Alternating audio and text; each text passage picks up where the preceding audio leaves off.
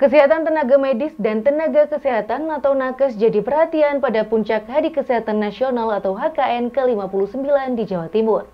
Guna membentengi nakes terinfeksi virus hepatitis B, pemerintah Provinsi Jawa Timur melalui Dinas Kesehatan Jawa Timur melakukan pencanangan imunisasi hepatitis B. Kesehatan tenaga medis dan tenaga kesehatan atau nakes jadi perhatian pada puncak Hari Kesehatan Nasional atau HKN ke-59 di Jawa Timur. Untuk membentengi nakes terinfeksi virus hepatitis B, pemerintah Provinsi Jawa Timur melalui Dinas Kesehatan Jawa Timur melakukan perancangan imunisasi hepatitis B. Vaksinasi itu bertujuan untuk mencegah infeksi virus hepatitis B yang dapat mengganggu fungsi organ hati. Pencanangan vaksinasi hepatitis B untuk nakes dilakukan di salah satu hotel di Kota Batu. Kadinkes Jatim Dr. Erwin Asta Triyono menyatakan melalui acara ini diharapkan bisa melindungi nakes dari paparan virus hepatitis B. Vaksin hepatitis B mengandung antigen permukaan virus hepatitis B atau HBsAg yang sudah dinonaktifkan. Melalui vaksinasi ini merupakan salah satu cara untuk melindungi para nakes dari paparan virus hepatitis B. Sementara itu, Gubernur Jawa Timur Hovifa Indar Parawansa menyampaikan vaksinasi hepatitis B untuk nakes merupakan langkah mitigasi dan preventif untuk melindungi nakes sehingga tak sampai tertular virus hepatitis B saat menjalankan tugas.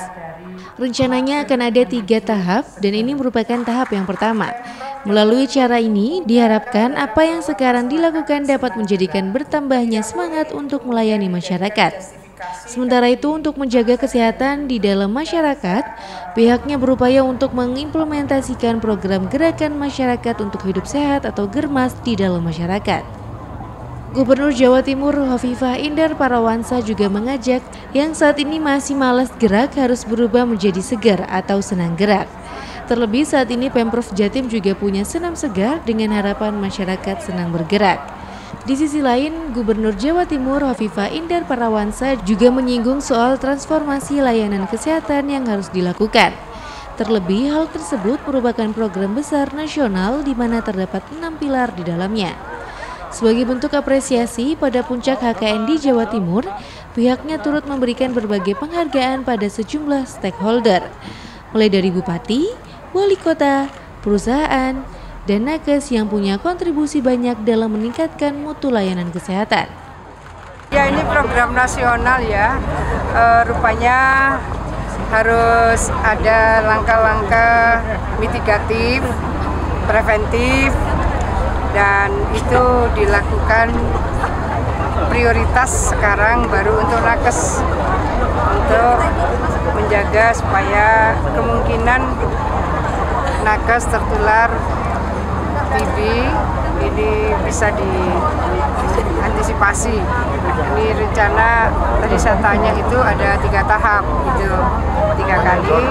Ini baru yang pertama kali dan tentu kita berharap bahwa apa yang sekarang dilakukan untuk vaksinasi eh, TB ini tidak menjadikan berkurangnya semangat melayani masyarakat karena pada dasarnya langkah-langkah preventif ini sudah termitigasi gitu. Nabila Naili melaporkan.